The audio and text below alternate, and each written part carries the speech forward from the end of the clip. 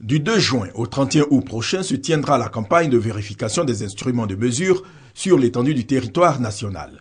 Cette campagne vise à assurer la transparence dans les activités commerciales, à apporter la protection des consommateurs et à lutter contre les mauvaises pratiques. La vérification périodique des instruments de mesure euh, va consister donc euh, à vérifier que les instruments euh, qui sont donc en usage, qui, qui servent donc dans le cadre d'une activité commerciale donc que, ces, que ces, instruments de mesure ont subi la vérification primitive, hein, qui est une activité, qui est une autre activité prescrite donc, euh, par la loi, et vérifier que l'instrument de mesure fonctionne toujours bien.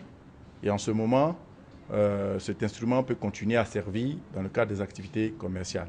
L'opération incite les acteurs économiques à livrer la quantité exacte du produit acheté au juste prix, contribuant ainsi à la lutte contre la cherté de la vie. Aujourd'hui, tout opérateur économique qui utilise un instrument de mesure lors de ses opérations doit pouvoir soumettre de manière spontanée cet instrument de mesure au contrôle. Pour la campagne de vérification de 2013, l'on enregistre 92 743 instruments de mesure jugés aptes contre 422 refusés et 10 déclarés hors service. Au total, 93 175 instruments de mesure ont fait l'objet de contrôle.